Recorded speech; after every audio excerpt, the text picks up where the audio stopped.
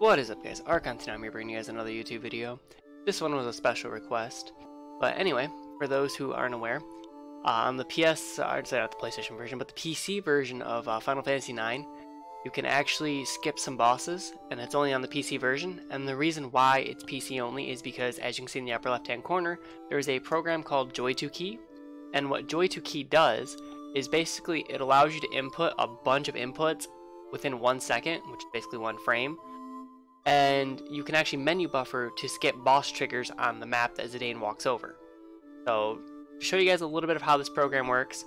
So basically what you want to do is you want to plug your controller and make sure it's working, then turn on JoyToKey, And when you push buttons, you should see button 2, button 3, button 4, all this stuff like light up.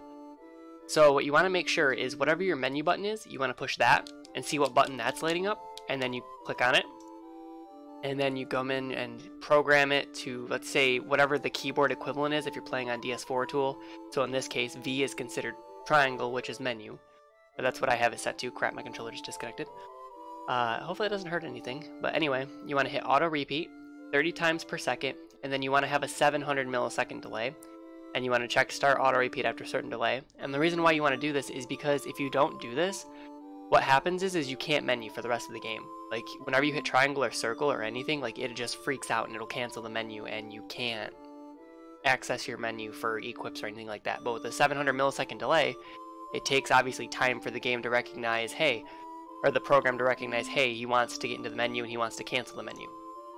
Otherwise, you just keep menu buffering. And then you hit circle, or whatever your cancel button is going to be. So in this case, it's button 2, and that's programmed to C on the keyboard. So auto repeat 30 seconds, 700 second millisecond delay, and you're good to go. You can actually put put it on the other two joysticks. Uh, this is like an alternate input. I think you push like L2 or something on your controller and then you can access it. So that's one way of getting around it. I personally don't like to do this because sometimes it doesn't work. When you're pushing three keys in, or three buttons on your controller at the same time, it will miss a input. And next thing you know, you're fighting a boss you're trying to skip. So I just prefer to do this with the 700 millisecond delay. So let's go ahead and uh, minimize this since I explained how that works. And let's go ahead and show you guys what I'm talking about here. I don't know. Oh. Okay. So uh, I just have to reload the save file. Sorry about that. I thought for sure it would load me back in uh, on the other side of him. But that's what it looks like when you do it correctly. You end up on the other side of the boss. Uh, there is going to be some counting here.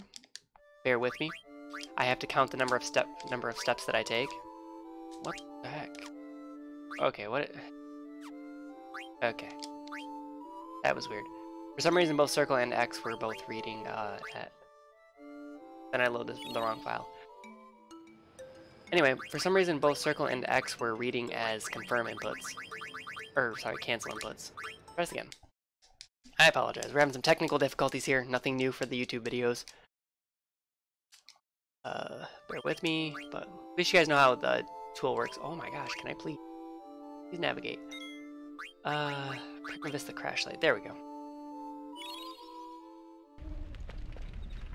Hopefully you enjoy the uh, Final Fantasy VIII music that's remixed. I swear this is the same track that's used at uh, Galbadia Garden when you first get there and you're in the waiting room. It's just remixed a little bit. Oh, of course, we're going to get a random encounter. Don't mind this guy. Normally you take the encounter anyway on this route, I believe.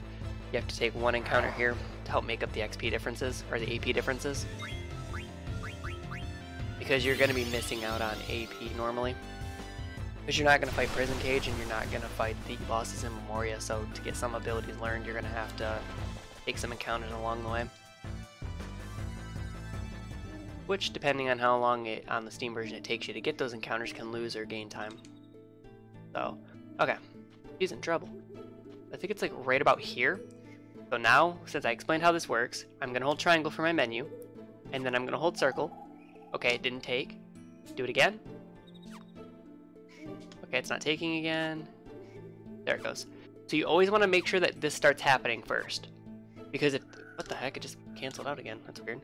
Usually if it, this is doing this, it shouldn't cancel out unless your my controller's disconnecting. But anyway, once you get to this state, you just keep holding triangle and then you hold circle. You don't let them go at all, and you try to get this to happen. If this doesn't happen and what happened to me the first two times does, you need to hold triangle again, hold circle, and try to get this result because uh, if you don't and you walk forward, you will trigger the boss fight. So what you do now, you can actually move during this if you hold up. So we're going to hold up now. And every time the screen goes black, you count one, two, three, four, five, six, seven. And the reason we're counting is because that's how many steps we're taking inside of the menu buffer. Because like I said, Zidane is actually moving forward during this. You want, I think, roughly 20 to be safe on Prison Cage. Uh, if you actually take the time to learn where the fight triggers at, I think it's 15 for Prison Cage. I actually had this all mapped out before. Uh, I figured out what the least amount of steps was back when, uh, back in I think February. I don't remember now. I think I have it listed in a notepad. I can uh, show you guys what I've got or I can upload it in the comment section once I find it for you guys. But anyway, you just keep counting, except up to about 20 to 25 if you want to be safe. That way you don't come out on top of prison cage. Uh, as long as you're lined up straight, you should walk right past him. Okay, we should be good now. Okay. Cool. And we've skipped the prison cage boss fight.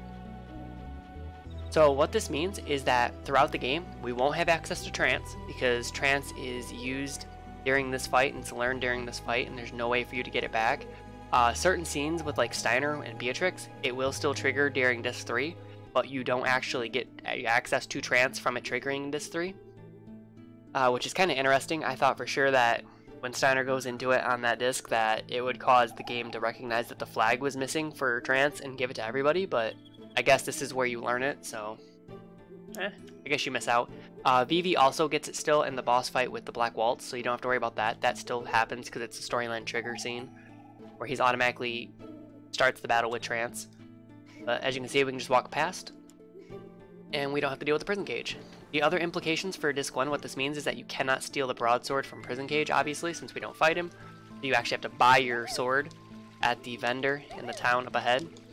Uh, the Black Mage, I can't think of what it's called. Uh, I, I, can't, I'm drawing a blank on what the village is called.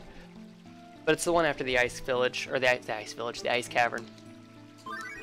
Uh, like I said, you can do the skip Prison Cage. You can do it on all four Memoria bosses. Actually, all five Memoria bosses. You can skip the four Fiends and Deathguise as well. And the only thing you fight on Disc 4 is Nova Dragon, and Trance Kuja, and the final boss, Necron. So you only fight three bosses on Disc 4, and it's a big time save. Like I said, this is only for PC. Cannot do it on the PlayStation as far as I'm aware, even with a turbo controller. Uh, if anybody can correct me on that and let me know, I'm pretty sure you can't do it on the PlayStation version. Uh, and I think this is its own percent. I don't think this is any percent. Uh, I'm not sure what it was when it first came out, if it was still considered any percent, kind of like Final Fantasy VII and the Yuffie skip is considered uh, any percent. I'm just going to show you guys that no trance bars. But I don't think this is, I, I think it's its own category and any percent is still all the bosses and everything else, kind of like what the PlayStation version has. So if you're running with somebody and you're racing with somebody, uh, let's say they, they're playing on the PlayStation version just for whatever reason, and you're playing on the PC version, and you guys are running any percent, you should not do this glitch. Or I guess it's not really a glitch. I don't know what it's considered. Uh, I think it's just menu buffer abuse. So it's not really a glitch. But obviously I wouldn't do this because obviously your times will be completely different. As you can see, we have no trance bars here. I just wanted to show that off.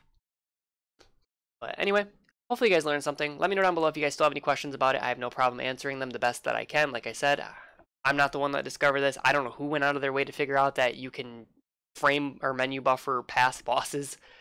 Uh, that seems like something that's crazy to keep attempting until you figure it out. I don't know. But anyway, let me know down below if you guys have any questions about it. I can answer it the best I can. And thanks for watching, guys, and see you on the next video. Later.